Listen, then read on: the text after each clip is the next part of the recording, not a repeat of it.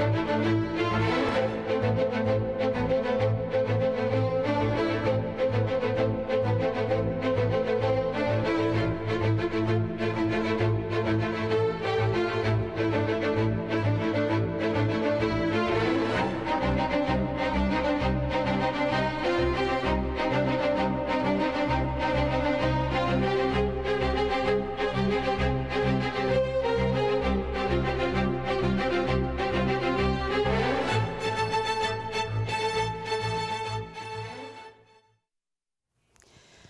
executes more of its citizens than we do right here in Harris County.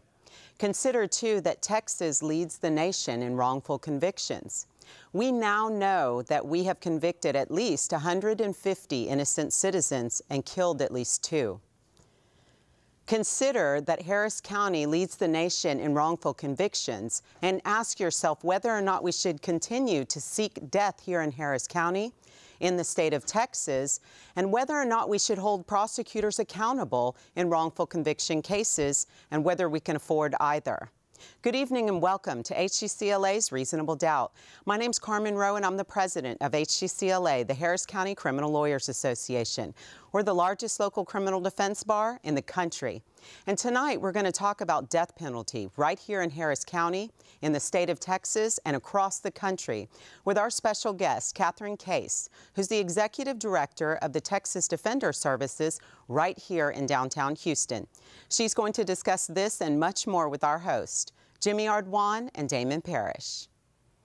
Thank you, Carmen. Good evening, everybody. Welcome to HCCLA's Reasonable Doubt. I'm Jimmy Ardoin, along with my co-host Damon Parrish. Tonight, as Carmen said, we welcome to the program Kathryn Kase of the Texas Defender Service. And we're going to talk about the death penalty, its use across the country, and its use, its extended use in Harris County. Got me all cracked up there, Damon. I apologize Good. for that. That's all right. That's all right. You got to wait your turn to be brought in here. So excited to be on TV. Anyway, we're gonna we're gonna be uh, taking your questions live on the air. If you'll send us your tweets at hccla underscore TV, you can also call in the show starting at 8:30. We'll put the phone lines up on the TV, and you can call us at your convenience. And we'll take your questions right here on the air, both for us and for Kathryn, uh, as the night moves on. I want to bring in my co-host Damon Parrish right now. Damon, good evening. How are you? All right, you got a little eager there coming on I camera. was excited. You know, I love being on TV. I know you do. I love it. I know you do. Um, and I, Damon, I want to bring in before we get to you on the current events because right, I know right. you've got a lot to talk about tonight. Well, we have a big case. uh, I want I want to bring in our guest Kathryn Kase. Kathryn, good evening. How are you? Great. We appreciate you coming on the show tonight. And uh, as, as I said, we're going to talk a little bit about current events before we delve into the death penalty here. And one of the first things I want to get started with tonight is, of course, the Baltimore riots. of course. Uh, Damon, tell us a little bit about what's been happening in Baltimore early on this week. Well, Jimmy, it's a story that has repeated time and time again, at least for the past year, two years. We have uh, Ferguson, New York, California, South Carolina, and now we have Baltimore. We have uh, Freddie Gray, African American man, taken into police custody. Uh, and somehow, between the time of arrest and getting to the station, he spinal injury. Now he's dead. Uh, people say that he was he was injured by the police during the arrest. The official report came out today, and they said he was injured in the van somehow by himself. Yeah, I saw that. Now, Right. there was something that said there was a, the, a bolt that may have matched some injury that, that got into his head. What? That, know- that, that just broke, I think, before I headed up here to the studio, so at least to me. I just saw it right now, Jimmy. You know, I played football, you play football. I think we're both tough men. We're from, we're from Texas. It's hard to injure yourself handcuffed to the point where you break your own spine, I, I would think. Uh, I used to do MMA training, jujitsu, kickboxing, and I'm telling you, you can hurt yourself in a lot of ways, but I don't know if I can break my own spine. I think I might need help for that one. But uh, this story is repeating itself over and over again, and of course, people in Baltimore already oppressed from years of oppression and uh, and the over militarization of police of the police force that we talked about before have now begun to riot and and self-destruct in in a, a way to get attention. Yeah. it's, it's unfortunate. Kathryn, I want to get your thoughts on this as well, because we were talking before we came on air about your experience the other night, come, had just heading home, where I guess there was some, some protesters here in Houston that you encountered. Well, Texas Defender Service is located in the third ward. Right. And so as I was leaving last night, I noticed that there was a police vehicle stationed at the end of Blodgett by with 288 in front of it. And the, the car got there about 6 and it had its lights on. And I thought, what's going on here? Because I couldn't see any disturbance on the street. Then when I got on 288 to go towards 610, I noticed that there were police cars at every intersection all the way up 610 and that there were three via police vehicles in the median at 288 and Holly Hall. And um, I thought, this is really odd, this police presence. Um, what's it doing here? And then I realized that there had been a protest or a even not even really a protest it was a bunch of concerned citizens that had come out in the third ward to say how disturbed they were about what happened in Baltimore and to say that you know Houston police need to be accountable accountable for racial injustice in, in Houston which of course right. is an enormous issue and it's important and you know I don't live in the third ward. I live in a neighborhood that is much more white, and I just find it really hard to believe that if I and my neighbors got together to talk about an issue of public concern, that the Houston Police Department would be out on every corner with their police vehicles guarding against a potential riot. I mean, I, I just am very discomfited by the suggestion that that presence implies that African Americans, when they get together to talk about issues of public concern, might riot in Houston. Right. And one of the questions that was posed that I saw earlier was could a scenario like Baltimore uh, or Ferguson, could that happen in Houston? I, I just want to get your opinion on it because you've you've been here a while, you've you've seen it as we all have. We've lived in this city a while. I mean, I'm not really sure that. I don't think we really know what what could happen because we haven't had something, um, to, in my opinion, here recently uh, that has caused kind of the furor where we see it ignite in social media as it has in the other cities. But do you think it could happen here? I mean, I would think that in Houston there is much more effort on the part of the leadership in the community, which is also much more racially mixed than Baltimore is. Um, to really talk about criminal justice issues. You know, uh, there was a businessman, Gerald Smith, this past summer who um, wrote an opinion piece in the Chronicle saying, look, the business community and the Greater Houston Partnership and the local foundations need to get together to talk about criminal justice because non white children in this community are treated so mm -hmm. differently within the system. Mm -hmm. And um, so there has been an effort to start that discussion, and then you have people like the Reverend Bill Lawson, um, Archbishop Fiorenza, Rabbi Karff, who have been coming together uh, with um, Bishop Dixon to talk about these issues. So I think that the odds of a riot are actually low here, and and and I really think that if you want to have, uh, if you want to guard against a riot, we all have to talk to each other and we have to listen. And, um, you know, you don't go in expecting that things are going to get out of hand if you treat people Right. with humanity right, and with sure. understanding. And I and I think it's incumbent on those um, who are in charge in Houston to assume that those who want to talk, by and large, are people of goodwill. And and so you know, um, and and it just concerns me when I see the show of force that suggests that people are not individuals of goodwill. Yeah. And Jimmy, I, am actually going to take a different side on that. I think it absolutely can happen in Houston. I think any place where you have a people, a large enough people who believe that they are being oppressed systematically by the government, and then you add to that, like Kathryn said, a show of force within their own neighborhood, within their own backyard, when they're trying to assemble peacefully, which is guaranteed in the Constitution, and you're just going to voice a concern, and then immediately, and everywhere you turn, you're met with a, a military-like uh, invasion or show of force in your neighborhood, in your own home. I think that just adds fire to fire, and it makes people want to explode. Well, let me throw, saying that, let me throw this question out for both of you to answer, because some have said, and some on the other side will say, the, the police and the pro law enforcement side will say, look, these riots happen. That's the very reason that we need to have strong police presence is because these people can't control themselves and they can't stop themselves. All they're going to do is come out and, and destroy their community and this is exactly why we need the police presence we have. What's, what's your response to that? You know, when Timothy McVeigh bombed the federal building in Oklahoma, did the Houston Police Department place the white people in Houston on lockdown? Right. I mean,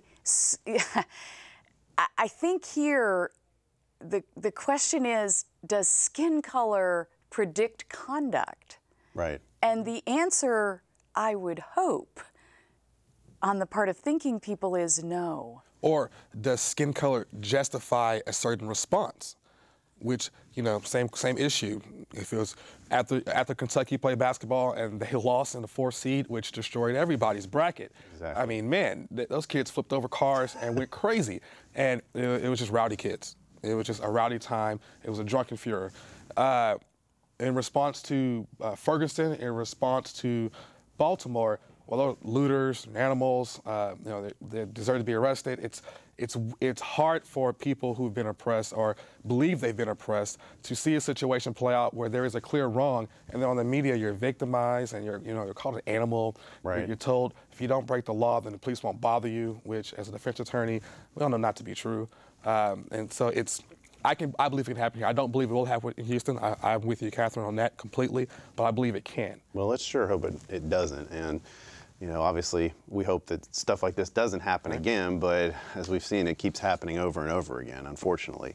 The next item I want to move to, and this will kind of help us segue into, into our discussion for the night, is some breaking news happened earlier this week with regard to Robert Pruitt. Uh, he was a, he's a man on on death row for fatally stabbing a prison guard back in 99.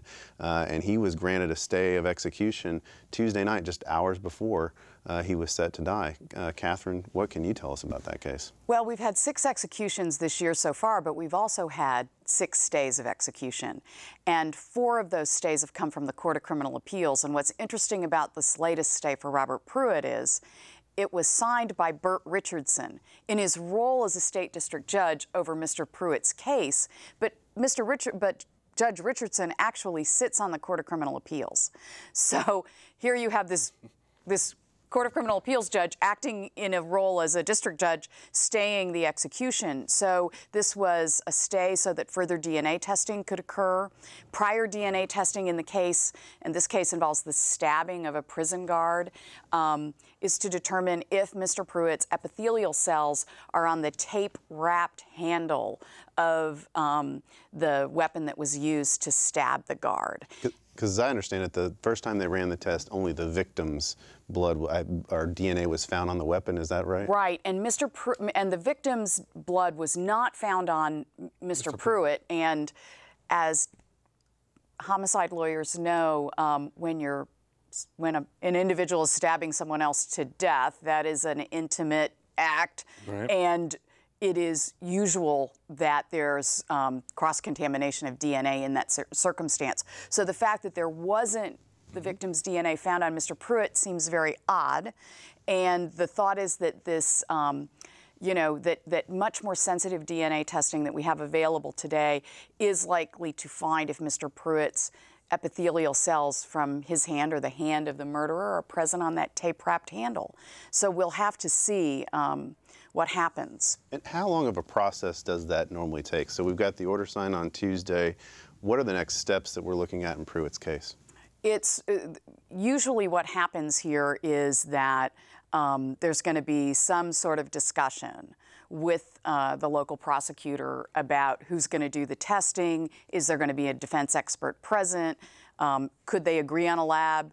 Or is there going to be an effort to, um, when you extract the epithelial cells, to keep a portion of the extracted uh, sample there for the defense to come in and test? So there's probably some negotiation that's ongoing even at this point. And then once the negotiation is completed, there's going to be an arrangement to transport that weapon to a lab so that testing can occur. And then it really is dependent on the lab's caseload and how quickly they can get things done. Yeah. Um, so, you know, what we do know is that because Mr. Pruitt has had a pri- has had, you know, this prior testing, it's really hoped that this testing is dispositive. And because he's had this execution stayed, any future execution date can be set on 30 days' notice. Right. And you know, Jimmy, this this is one of those things where it's why has why wasn't this done sooner? I mean, Right. we Timothy Cole, Michael Morton, Anthony Graves, potentially Mr. Pruitt here. I mean, DNA tests aren't that hard now. They don't cost that much. And if a man's life hangs in the balance of a simple test, I mean, this, this, he shouldn't have to wait until knocking on death's door before he gets either the final death nail being, hey, your, your DNA's on it, we can't stop, we can't change that, or dude, it wasn't there, we're sorry. Right. Uh, and that's one of the many things we're going to talk about tonight with Kathryn Kase. She is the executive director of Texas Defender Services. It's a group that primarily represents indigent uh, individuals, indigent defendants on death penalty cases. And Kathryn, I, I guess let's set it first for the audience. How does someone get charged with a death penalty case in Texas? What are the various ways in which someone can be charged? Well, it really helps if you're poor in Texas, right. number one. I don't mean to laugh, but it's unfortunately true. And, it seems that way. And it really helps if you've killed a white victim. The single largest predictor mm-hmm. of whether you will face the death penalty in Texas is whether your victim is white. And in fact, you're five times more likely if your victim is white versus any other race, correct? Correct. And um, beyond that, it helps. So, in addition to being poor and having killed a white victim, it also helps you if you're African American or Mexican American because those groups are overrepresented um, in on death row relative to their presence in in the population, the general population in Texas. Um, so. Uh, you know, death penalty crimes in Texas all involve murder, but it's usually murder plus. Murder pl- in the commission of designated felonies like robbery or rape or an attempted robbery or an attempted rape or an attempted burglary, or um, murder involving the status of a victim. So, murder of a law enforcement officer, murder of a correctional officer, murder of a child 10 years of age or younger. Um, and or multiple murder also qualifies as a possible death penalty offense. But what's interesting about Texas is we have about 300 cases a year that, in which capital murder is charged. Yet, less than 15 cases a year go to trial. So the big challenge is figuring out how you get from 300 charged cases down to 15 defendants who are only facing the death penalty. Right. And I think the important thing to recognize too is that you talked about the statistics with regard to minorities being the overwhelming majority of people who are charged in these cases. It, it should be pointed out the district attorneys, they have the discretion of, of when to charge someone with a death penalty case and seek the death penalty or not to seek the death penalty, don't they? That's true. In fact, the death penalty is only used, has been used by about 120 counties in Texas. We have 254 counties, and the biggest users of the death penalty are urban counties because they have the money to pursue the death penalty, not only to put somebody on death row, but then to engage in the defense of further appeals to keep them there. And if you're in an if you're in a rural county, you've you've probably got lots of agricultural exemptions. Um, it's more important for your county commissioners to have a road grader than it is to have a guy on death row, particularly when we have life without parole, which mm-hmm. effectively keeps people in prison for the rest of their lives. And if we make a mistake, we don't have to worry about resurrecting them after we've killed them. Right. And Kathryn, you actually made a good point. What is the cost of a a trial from from death penalty uh, death penalty trial from start to death penalty to you have now been executed versus a life without parole? We don't have an accurate number because we don't break out in Texas. The the prosecution costs, the police costs, the judicial costs, and the, the incarceration costs. All of these extra special costs on the law enforcement side, we don't break out at all. We know from a study by the Dallas Morning News back in the 1990s, they said it was about $2.4 million. And I think that in today's dollars, that might raise it up um, into, you know, more than 3 million, almost $4 million. But we know it's probably quadruple that at the very least because we have so many more costs that that accrue to the system and that we have no effective way of breaking out. We would really need, um, you know, a specialist in criminal justice who could do a regression analysis to really get us a firm number. But suffice it to say, it's a heck of a lot more expensive than locking people up for life. Right, right. And less costly if you're wrong. Yeah, exactly. Yeah. Kathryn, I want to talk about Harris County not just because this show is put on by the Harris County Criminal Lawyers Association and because we are in Harris County, right. but because Harris County actually leads the nation, it, not just the state, the nation, in putting people on death row. This is true. We're the we're the uh, um, single largest user of the death penalty behind Texas. So we we are, you know, number two beyond many states. Right, and I think we had a graphic. Uh, we have a graphic to put up of, of the number of executions by state, and in Texas far leads uh, the rest of the country. I think since from 1976 to about till 2010, I think our graphic is uh, shows that Texas has, and here it is up right now. We Yeah. have about uh, Texas, and usually I will say, come the second week in October, I usually want Texas to be this far ahead of Oklahoma because I am a UT alum. But this is not a, a situation where I'm real prideful to see this. We've got, uh, you know, over the course of about 40 years here, Texas is almost five to one ahead of, of the person in second place, as that is Oklahoma. Where, where do you have any uh, idea where Harris County itself would fall on that? You know, I don't have the latest numbers for Harris County, um, but you know, we are.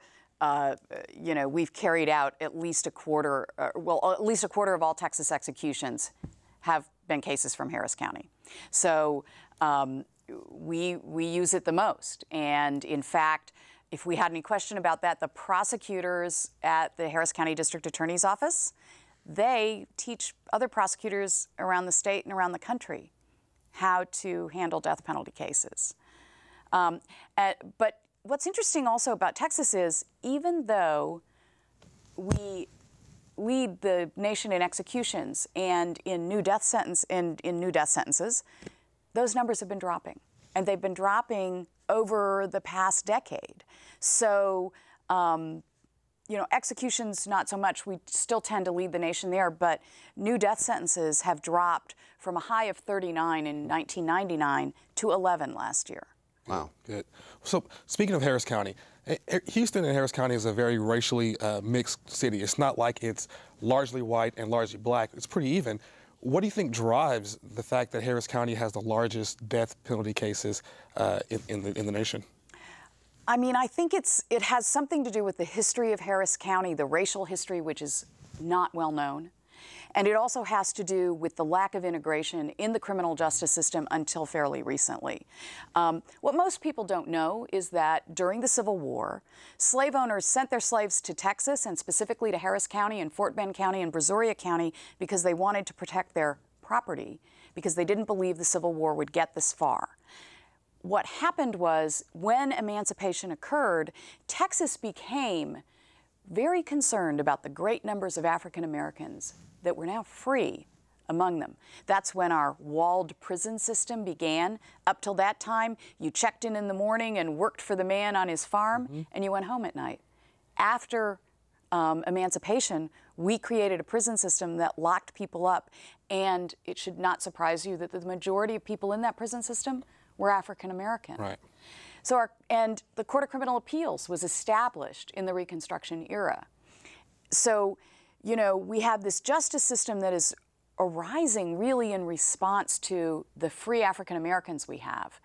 And this is a justice system that is very, very white. Um, you know, Houston had Jim Crow just like anywhere else. We were the last. HISD was wa- fought se- desegregation longer than any other school system in the state. There are people in this town who remember um, going to all white or all black schools and being bused across town. Um, and despite living next door you know, in racially mixed neighborhoods. And and so, you know, the idea of this racially mixed justice system and, you know, having African American police chiefs, which is a wonderful thing, having judges who look like the people they're judging, is a fairly recent phenomenon. And not to give uh, any credence to uh, uh, Chief McClelland, but he was African American, but he was the probably the guy who put those people out there in Third Ward. So, I mean, I don't think just having an African American police chief is gonna is helps it out. I think in, your theory is correct, but I'm just not a big fan of HPD police chief. So, Well, I mean, the other thing is though that I mean we had Lee Brown, Right. you know, before, and I mean I I am glad that he's staying in politics and he's there to talk about his experiences and bring perspective. So I think, you know. Presence is important because it allows you to have discussions. For example, the presence of Belinda Hill in the district attorney's office is important because it allows you to have discussions that are a lot harder if all of us in the room are white. Sure. I think. Or a lot easier depending on your agenda. Yeah. Yeah. We, have got our first phone call of the night, a little before the 8:30 hour, but um, we'll get to our lines. Hello. Thank you for calling HCCLA Reasonable Doubt.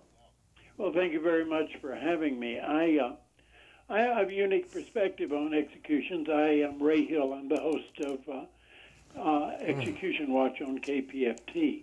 Hi, Ray. Thanks hey, for joining us. Thanks for being on the show. Well, business has been good, and, and, and this has given me a little different perspective uh, than anyone other than lawyers who actually defend and prosecute these guys and gals, but I get to actually interview them. And in interviewing them, I get um, I get uh, insight into who they are, and a lot of them are pretty damaged people. We're spending an awful lot of money killing people that Otherwise, yeah. we wouldn't have spent any money on uh, on maintaining. And uh, there are case after case where people absolutely uh, uh didn't do it. I remember uh, uh, Attorney General some time ago having to go to George Bush and convince him that somebody they were about to kill couldn't have done it. And but they're willing to accept their execution because they've been nobody all of their lives. This is an extremely expensive process in terms of emotions and it costs the state. And I think that we need to pay a lot more attention of getting it right. We no doubt agree with that statement for sure, Ray. And we, we appreciate your call and we appreciate your comments on our show tonight. And uh, we, we encourage everybody to call in. Uh, we'll flash the number up at the bottom of the screen. Also, send us your questions on Twitter at HCCLA underscore TV. Phone lines at the bottom of the screen right now, 713-807-1794. You can call in. We'll put you live on the air here with Kathryn Kase and answer your questions. Kathryn, one of the things that Ray brought up that I think is, uh, he talks about the, the number of people that we've, we've gotten it wrong on. And it's no surprise that given the statistics we saw earlier with 518 people put to death uh, in the last 40, 40 years, Texas leads the nation in exonerations as well. And uh, they just keep coming out of the woodwork. Damon alluded to it earlier in our, in our intro. Uh, I mean, how many more are we going to have? You know, it's a good question, and part of the problem is is that we really don't know how many people on death row are innocent. We know we've had 12 people exonerated off the row. We know there are others, such as Kerry Max Cook, um, who was represented by, you know, two local attorneys from Houston, um, and who, who took a plea deal, you know, pleaded nolo to get off the row, um, but who very likely is innocent. And uh, the DA's office, in his case, is refused to do any DNA testing, um, doesn't want to know that he's innocent. So, and we know that Carlos DeLuna and Ruben Cantu very likely were innocent, as was Cameron Todd Willingham, who I've um, worked with the Innocence Project to get a posthumous commutation for. Um, and then there's Claude Jones, who was convicted largely on the fact that there was a hair at the cash register stand um, that they said proved that he had killed the clerk during a robbery. Um, hair comparison done by uh, Texas technician said he had, Mr. Jones had killed the clerk, and of course he had committed other armed robberies. Um, except when they did DNA testing after his execution on the hair, it showed that it was the clerk's hair, it wasn't Mr. Jones's hair. So um, it's just hard to know. What do you think? And then also, yeah for the exonerations, one of the things uh, you've mentioned before, or at least on your website, is that these uh, people who get exonerated are almost lucked into it. You have uh, Rayleigh or, or the Texas Innocence Project or a case where you have clear DNA evidence to prove somebody wrong. So, what for those people lucky enough to have that? I mean, what do you think uh, their chances of getting out, or how are they impacted by that? Well, I think that first of all, you're right. Their DNA is is the best thing you can have if you've got it. Unfortunately, only about 10% of the cases have testable DNA. Um, so if you've got a case that depends on some other form of innocence, such as Rigoberto Avila, for whom the forensic uh, determination of how the child in his care died looks to be really, really bad, like it was not in accord with the science. Um, if you're depending on other things like the law coming to its senses about bad forensic science, that's highly dependent on the quality of your attorney and the resources he or she mm-hmm. has. Because the courts fight very hard not to provide resources to prove innocence once somebody is on death row because they believe in this idea of finality. Your conviction has been, uh, you know, determined by a jury. A court has affirmed it on direct appeal, and so therefore good luck. um, so, so you have to have attorneys who are willing to fight hard and who are willing to go to experts and say, "Would you testify for free?" Right. Yeah. Right. Well, given this current current climate, I mean, we've had exoneration after exoneration.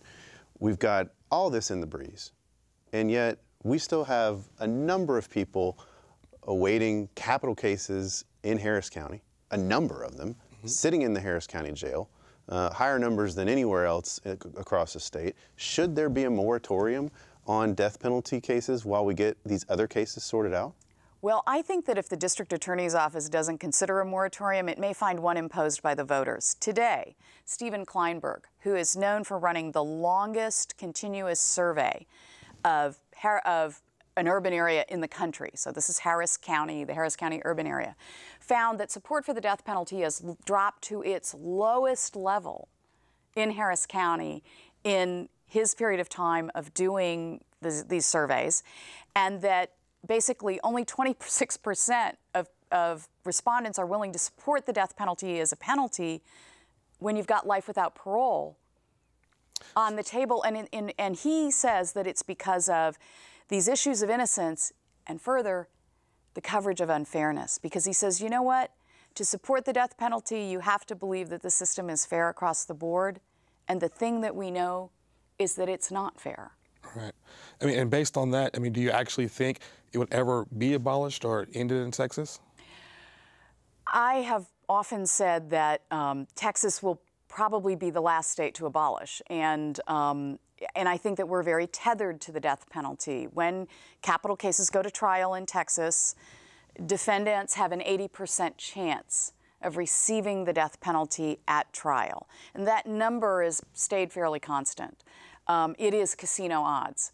Um, so I think we're tethered to it, but as other states back away, I actually think that the likelihood of judicial abolition by the Supreme Court grows greater every day. And I think that the arguments yesterday in the Supreme Court in the Glossip case shows that this court is seeing that abolition is on the horizon. There are just too many problems with the death penalty. We don't get it right. We don't do it fairly. And when we want to kill somebody, we can't even guarantee we're doing it humanely. That leads us to the next area. I mean, I, would like to explore, and that is the the inhumaneness of these executions right. that we've seen. I mean, we've seen people gagging, uh, resisting, uh, and having fighting, spasms, having convulsions. Waking yeah, waking up, and and the the drugs don't even finish the job. For God's well, sake. Well, part of the problem is is that the drugs we use for execution were not created to kill people. All right, so yeah. so midazolam or pentobarbital were not created to kill people. They were created to have a therapeutic effect, to put people under anesthesia. They were not created so that we could go put them in a prisoner's vein and snuff the life out of them. And the other issue there is is that, you know, you can't experiment on people like that. Um, except that's effectively what we're doing, and we're torturing people in the process. Um, and I realize there are probably people who are watching who say, well, who cares? These are murderers.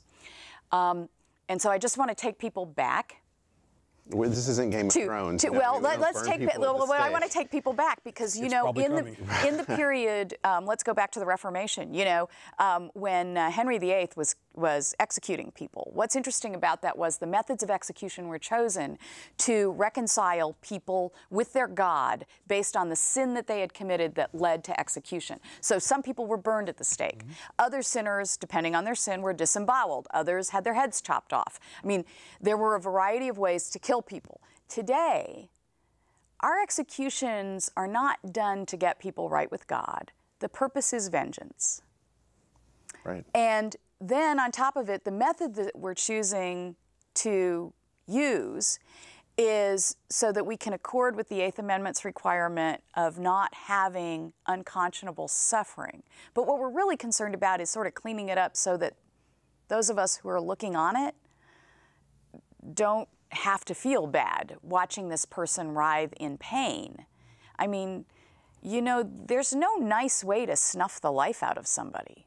Well, and I want to stop you there. You said yeah. that the basis of it is revenge, but the, the other side of that is the people are going to say, no, this is a deterrence. That, that we need the death penalty to deter people from future crime and from future violent crime. What's your response to that? The only people that the death penalty could possibly deter are the people against whom we carry it out. Study after study shows there's no deterrent effect. If somebody thinks about the crimes, punish about the punishment for a crime, they don't commit it.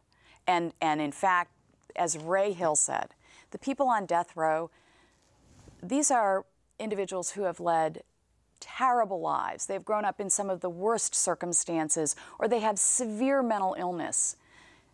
Forethought is generally not present, and we can contain them by holding them in prison for life, and we can protect others from them. One of our one of our people on Twitter asked, um, "Is there be now that we have life without parole for capital cases? Is it realistic that someone would ever pose a future danger to society?" I think the answer would be no. The the Texas prison system is very effective at locking people up and protecting them from harming others, um, and it uses. Uh, you know, actually uses solitary confinement quite liberally against people who are believed to be a threat. And in a lot and, of cases, they say solitary confinement these days is being overused. I mean, there's there's a lot of articles yeah, out there about that. that. Certainly, certainly. But the point is, is that the Texas prison system will put people in solitary um, if it believes they're a danger to correctional officers, correctional employees, or other prisoners, and and uses it quite a lot. So, um, in fact, the rate of offending, of violent offending in the Texas prison system is lower than it is in Houston. And, and Kathryn, you know? yeah. and Kathryn, that, I think that's important because in a capital death trial, one of the questions the jury has to answer for death penalty is this person will be dangerous to society, including prisoners, right? Right. So, given that statement, how do you think that it can still fly in Texas that the actual recidivism rate and, and, and the use of solitary, solitary confinement actually decreases crime in the prison system? At one time, the Court of Criminal Appeals actually reviewed death sentences for whether there was uh, enough evidence, sufficient evidence for, for a determination of future dangerousness. Um, and it overturned death sentences, saying, no, we don't have enough evidence here. That has largely gone by the wayside. Mm. Um, I don't know. The court has now changed. It um, appears to have more moderates on it. And I will be very interested to see whether it starts to review these determinations of future dangerousness, particularly in cases, for example, against children, because there are no children in prison. Right. Um, you know, against selected victims who just aren't present in, this, in the prison system or those circumstances aren't present. So, Damon, it's an interesting question, and, and I don't know where we're going to go from here. Certainly, the issue deserves much more judicial scrutiny than it currently receives. Right. And you talk about the judicial scrutiny, and one of the things that I wanted to ask you about is Justice Scalia, uh, because God help him. Um, what, recently, he said that there is the, that someone who is legally innocent, if we put them to death, it's not a violation of their constitutional rights. As long as they had a fair trial. Right. I, I, I am trying to, you know, I look, I, I work with a lot of family members of people on death row. I'm trying to think how that conversation goes with my client's mother, mm-hmm. where I say, We know your son is innocent.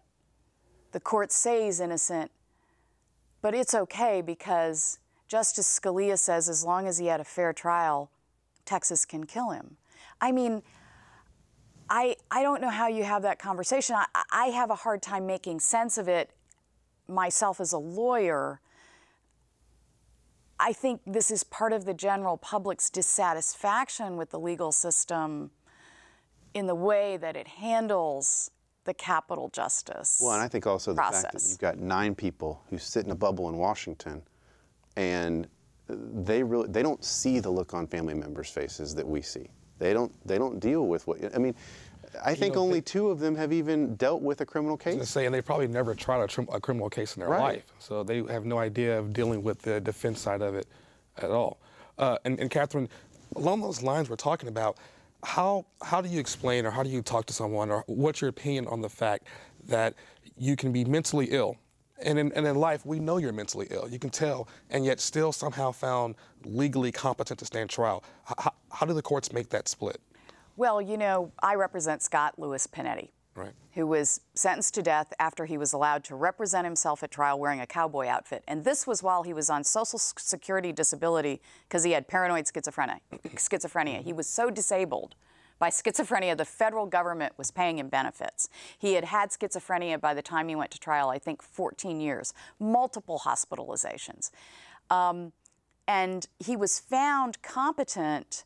A jury actually hung on that, and then he was found competent by a judge, and then found competent to represent himself. And to this day, the media call me and say, "How could he represent himself?" And particularly when he showed up in court wearing that cowboy outfit, looking like some Tom Mix character, like how did that go on? Mm-hmm. And and I can't explain that. I mean, that was a trial that occurred in the 1990s. You know, it's like the modern era. Right. this is not the dark ages. And and I think what happens is that jurors are afraid of people with mental illness. And because in the criminal justice system we don't we cannot tell people what happens to defendants if they're found not guilty by reason of insanity or what happens to people if they're found incompetent to stand trial. Jurors are afraid that these people who have committed a violent act will then be free to move about society. Nothing could be further from the truth. Right. Nothing. So, so the idea that you're legally competent, competent to stand trial, it's really just kind of legal fiction. Yes. Yes. Um, and and still going on that same vein, with with the with Panetti case and with other cases like that, when how do you deal with that when you're at trial and you're just trying to prove your client is not there, and for whatever reason, how do you how do you as a lawyer do you deal with that issue and, and trying to show to the judge and jury and everybody they're not competent? You know, one of the the best things that a lawyer can do is, I think, not just bring in the medical records, but show the parts of them where the person has a diagnosis, show the timeline that because the state is always saying, "Oh, this person is faking or they're exaggerating."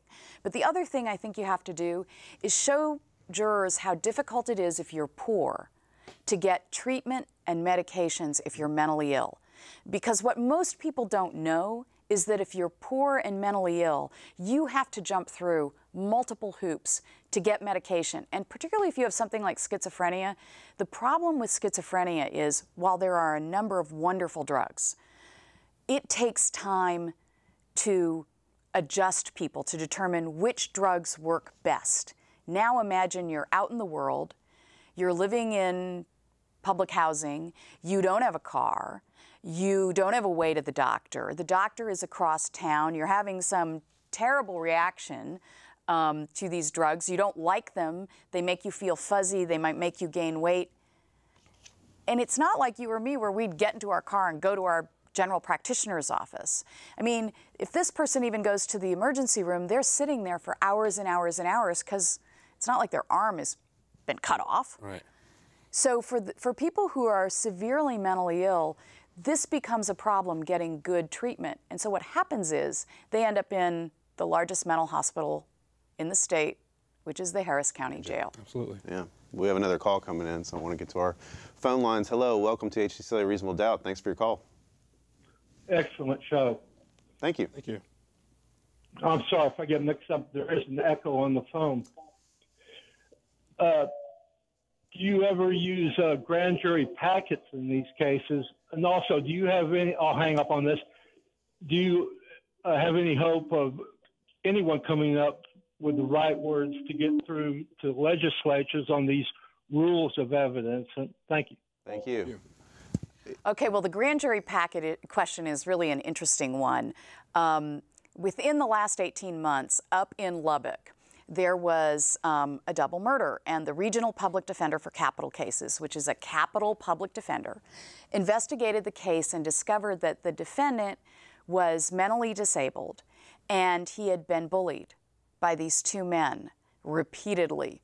And that they came after him and he had killed them in self defense. They actually presented this to the grand jury. It was a capital murder case. I mean, this guy had killed two people. He was really looking at the death penalty if it were indicted. The grand jury came back and no billed him. Wow. So, in answer to the caller's question, yes. You know, um, in the right case, a good grand jury practice can save lives. That's now, assuming you even get the opportunity to present to the grand jury. This is true. Now, the difference is in Lubbock, the regional public defender for capital cases is appointed upon arrest, mm. you know, immediately. Um, in other jurisdictions, sometimes these defendants don't get lawyers, appointed counsel, until fairly late in the process. Right. It's not supposed to happen that way, but if you're in a legal backwater, it might. And so you might not have, the lawyer might not have the opportunity to litigate in front of the grand jury. You know, you say legal backwater. I know in Fort Bend, uh, I get appointed in cases, and there are people who don't get attorneys or don't know they're charged until after they've been indicted. You know, I've had plenty of clients who've called me up and I've got a felony offense. I look it up, or you were indicted yesterday in a crime that took place two years ago. So it's very easy to see how um, you can miss your opportunity to do a grand jury packet in places like that. And you know that's what's critically important is that um, one thing we do at Texas Defender Services, we work um, on indigent defense issues, and we are big supporters of the appointment of counsel as soon as that person is arrested. You know, they go to that first arraignment and they're supposed to have counsel, and that's true of everyone in the system. And we really have to advocate for that as, as lawyers, which I know that HCCLA does, and which I'm enormously pleased with. But I want to get to the caller's second question, which yeah. is about the legislature. Um, you know, the legislature is a very challenging place to work right now. Absolutely. Um, and, uh, you know, I, I think it's a really good question about the evidentiary issues. I'm not hearing at this time uh, a great deal of openness to changing how we determine future dangerousness. Mm-hmm. Mm-hmm. But if there are any legislators uh, listening, I'm all ears if you want to talk about it. I'm I've got a car. I can go to Austin and talk to you. Well, I mean, you, you know. look at, you look at how long it took us to get the Michael Morton Act passed, just to say. Right. You're entitled to what you should get, right? And put it in, and codify it in a statute. So, so we're correct me yeah, if I'm wrong, but we're we're probably a long way off from getting any meaningful relief from the legislature on death penalty cases. But right? I got to say about the Michael Morton Act, which now I'm just going to humble brag. I helped negotiate um, in the legislature, and um, but you shouldn't have just, had to negotiate. Yeah, I know. That's but, the point. But we but we just put out a report on the first year of implementation. We and Texas Appleseed, and this is the cool thing about it. Now there are places where there's trouble, mm-hmm. and we could probably all sit around and name some of them ourselves. But the other thing about it is it's largely working well, and we have offices that are taking this seriously, and yeah. lawyers are getting information, which this is what it should be because it's so much more expensive. And I say this as somebody who represents people post conviction. It's so much more expensive to go back in and try to rescue them once they've been convicted. It's so much cheaper to prevent miscarriages of justice on the front end. Absolutely. So, are you saying it's easier and better to do it right the first time? Oh, yes, right. yes. I, I always hate to have to say to a judge, how many times do you want to try this case, Your Honor? And if it works. you know, we have two questions on Twitter, and I'm going to combine them because I think they're one and the same, uh, or same route. Uh, so the first one is, is can you waive your right to appeals to, to expedite your death sentence? And that the next question is, uh, I just lost. It. There you go. Is there an is there a way for an express lane to the death to the death chair? So basically, can somebody uh, charged with an offense, you know, plead guilty to capital death, get found guilty, and then waive appeals and be executed within a year or so.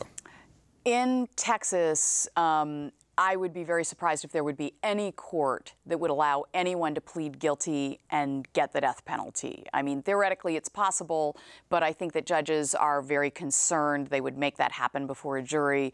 They would um, they would want the insulation of jury findings. You cannot waive your first appeal.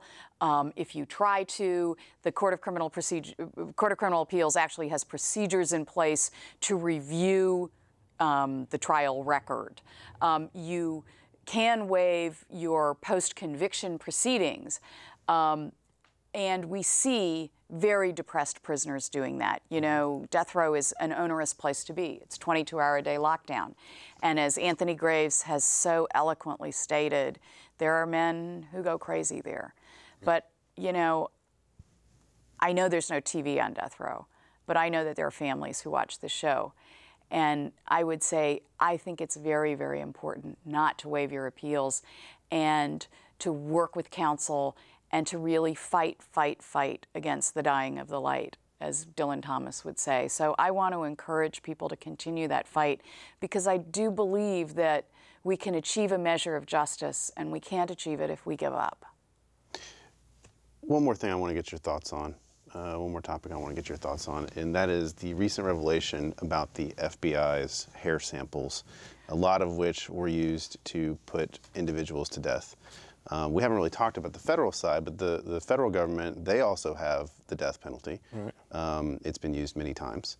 Uh, I'm not sure that the United States government might be in line with Texas in terms of will they the elimination of, of the death penalty. But I want to get your thoughts on just the egregiousness of what many in the law enforcement field hold out as the gold standard, the Federal Bureau of Investigation. And here we found out that over the last 25 years, they've been manufacturing hair sample evidence and convicting people and putting people to death for it. Well, and I just want to say that, you know, part of the problem with what has happened with this hair evidence is, first of all, we have people who basically are looking at hair under magnification and saying, well, that, that looks like it matches this other piece. Um, you know, anybody who's got a number of cats and dogs in their house and a shedding problem knows that sometimes it's pretty hard to tell the difference between your own hair and the fur. Um, you know, unless of course you you have you know a cat in a very odd color. Um, I mean, I had an orange cat for the longest time, and my husband and I sometimes would be like, "Whose hair is this?" Um, but beyond that, there were judges who were allowing these FBI guys to come in and testify way beyond their area of expertise and we're not acting as gatekeepers of the scientific evidence.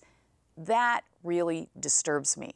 But there's been a fair amount of legal scholarship showing that when a prosecutor wants to get in a funky scientific theory, judges allow it. Absolutely. But when the defense wants to get in scientific evidence, all of a sudden, all of the protections against that are brought to bear. And, and so it does bother me, but we've known since the Oklahoma City bombing trials, thanks to Frederick Whitehurst, who used to work at the FBI lab, that these guys had been, had been engaging in testimony that was not supported by science. So I'm wondering why it's taken us so long to come to this realization that, well, you know, there's a problem here. And Kathryn, how many people do you think, at least from Harris County or Texas, were convicted and are death row or have been executed based off junk science or, or fraudulent science? Damon, it is impossible to tell because unless we go in and we re-review all those records, we can't know, and nobody nobody goes in and looks at that unless those people are still alive. If they're dead, right, it's over it's over. And in fact, good luck trying to find those records. A lot of those have since been destroyed. The evidence has been thrown out. Um, this is a system that buries yeah. the innocent. Absolutely. And just sweeps away all the problems. It just lets never happen. So, uh, and I wanted to bring something back, Kathryn. We, we talk about these cases, and in my mind, I think, man, that happened years ago. And so, certainly not today will we have wrongful convictions. But is that a true statement, or do you think still today it's possible and still happening? I mean, yes, I think we have two areas that the criminal justice system has not effectively addressed. And the first is eyewitness identification evidence. We need to do much more reform there. Eyewitness identification, we all want to believe what people say they've seen. Right. But we know frequently when there's a weapon or they're highly emotionally aroused, and that happens during crime, they're not accurate in remembering. The other area that is really problematic are confessions. And again, we want to believe that people wouldn't falsely confess. We all say, well, I would never falsely confess. You know, Galileo told the church that the sun revolved around the earth, even though objectively, as a scientist, he knew that wasn't true. Mm-hmm. And the reason he said that was because he was afraid that the church was going to kill him, that the Inquisition was going to kill him. It took the church 400 years to apologize. I really hope it doesn't take us 400 years to reform eyewitness identification and confession evidence. What do you think should be the punishment for prosecutors if they in these situations where, you know, we've seen what happened to Ken Anderson, but is that enough? I mean, did, did that go far enough? We, we, we've had some previous guests on who have said just the fact that he even got charged is, is monumentous enough. But uh, I don't know. I kind of feel like it's kind of a letdown that, that right. it didn't go far enough. Do you? How do you feel about that? You know, my job is dealing with punishment. So to me, the issue is not what the punishment should be for prosecutorial misconduct. The issue should be that it's investigated by the State Bar of Texas, that it's taken seriously, and that there is a process. I think up until recently, there was not self knowledge within the bar of how lenient they had become. And, and I'm not even sure it was intentional, I think it just happened. I have now gotten to know some of the people in the disciplinary office of the State Bar, and my sense is there is a renewed sense of purpose and much more seriousness. And now I think it's incumbent on those of us who are practitioners to accord with Texas Disciplinary Rule of Conduct 8.03 and report misconduct when we see it. The bar can't do it all on its own. Sure, but what, uh, going back to my earlier question about the, the counter argument about deterrence, where's the deterrence for the prosecutors? I think there's no deterrence if the bar doesn't investigate. Right. And, and in the past, I think that there's been real concern that they didn't investigate, but I think now there is more, there's more effort to do so. I mean, for example, we know that the bar is going after Charles Sebesta, the prosecutor who wrongfully convicted Anthony Graves, and not only wrongfully convicted him, presented, according to the Fifth Circuit, false and misleading evidence and withheld favorable evidence. Um, now, that's going to be a closed proceeding, so we aren't going to be able to watch it as we did the Ken Anderson prosecution, but I think that's important. I know that the bar has looked very closely at District Attorney Healey down in Fort Bend. Again, I think that that's significant because it says it's taking it seriously. I think that's the best thing for prosecutors is that they know they're not going to get a pass in the disciplinary process, just as the rest of us don't get a pass when someone files a complaint. Right. We only have a few seconds left here, so I, uh, I kind of want to wrap up on that note, and I want to thank you for coming on our show uh, and discussing everything about the death penalty. It's really been enlightening for someone like me who doesn't have a heavy practice in the death penalty and, and, and didn't know a whole lot coming in. And my research, uh, reading about you and all the cases you've been involved in, and this discussion tonight really enlightened me, and I hope it did as well for, for the rest of our audience so tonight. Too. So I want to thank you for coming on. Hopefully you'll be on with us again. Um, no, you're always invited. Okay, I'm happy are. to come back anytime. You have a standing invitation. all right. Until Harris County stops doing it. Exactly. The show. Well, and it may be less and less for all we know. Well, thank you for coming on. And uh, I want to wrap up our show tonight and thank all of our callers for calling in, all of our followers on Twitter for sending us your questions. And I hope everybody has a good night. For my co host, Damon Parrish, see y'all next week.